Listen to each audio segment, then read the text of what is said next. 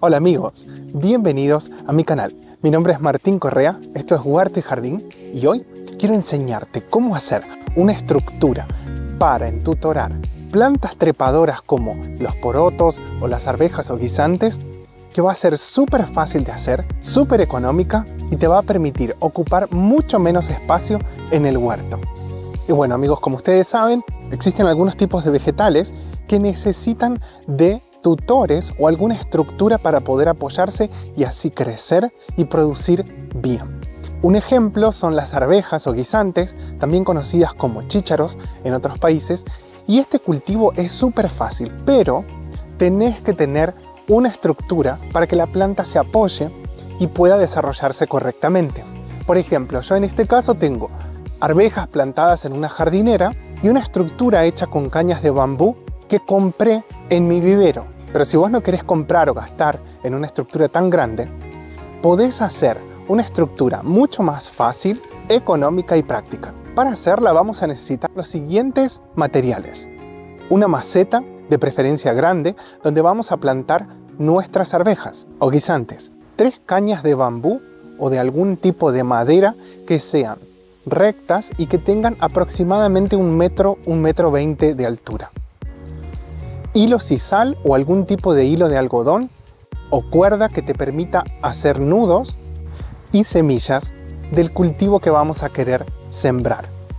Y para hacer esta estructura, lo que vamos a hacer es juntar nuestras tres cañas de la siguiente manera. Y luego vamos a apoyarlas en el suelo e intentar formar una especie de trípode asegurándolas todas juntas en la parte de arriba. Una vez que formamos bien el trípode, vamos a simplemente agarrar un pedazo de nuestro hilo y atar de esta manera. Primero vamos a hacer un nudo más simple y después lo que a mí me gusta hacer es ir entretejiendo el hilo entre las cañas para darle más fuerza, para que tenga más seguridad.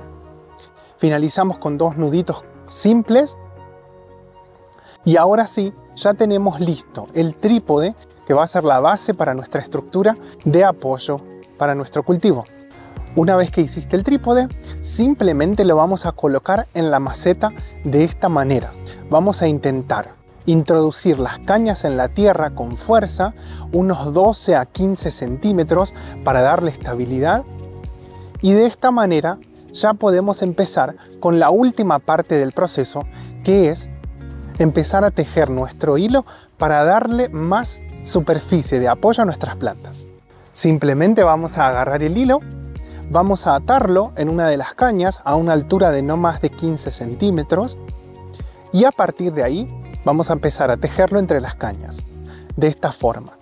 Yo llego acá, doy una vueltita, no hace falta atarlo, si ustedes quieren lo pueden atar en cada, en cada caña, en cada vuelta que le dan, y vamos a repetir el mismo procedimiento en la caña siguiente y en la próxima, pero en vez de cerrar el círculo, vamos a subir un poquito y vamos a ir repitiendo este procedimiento hasta que hayamos completado toda la altura de nuestra estructura.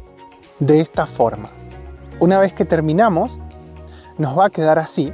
Simplemente lo que vamos a hacer es cortar el exceso de hilo y hacer un nudo en la parte de arriba y ahora sí, nuestra estructura quedó lista y ya podemos sembrar o plantar. Para este proyecto yo elegí esta variedad de arvejas o guisantes que no crecen demasiado altas y las semillitas lucen así. Simplemente vamos a hacer un agujerito en la tierra, colocar un par de semillitas, cubrirlas y regarlas. Y después de unos días nuestras plantitas van a germinar y a medida que vayan creciendo se van a ir apoyando en esta estructura que les dimos. Fíjate cómo después de 30 días mis plantitas de arvejas están apoyando perfectamente en esta estructura y dentro de poco van a florecer y van a producir bastante. Y la idea es esa, que nuestras plantas, sin ocupar demasiado espacio, tengan todo lo necesario para poder producir de forma correcta. Bueno amigos, eso es todo por hoy. Si el video les gustó, no se olviden de suscribirse a mi canal, de darle me gusta y de compartirlo. Muchas gracias y hasta el próximo video.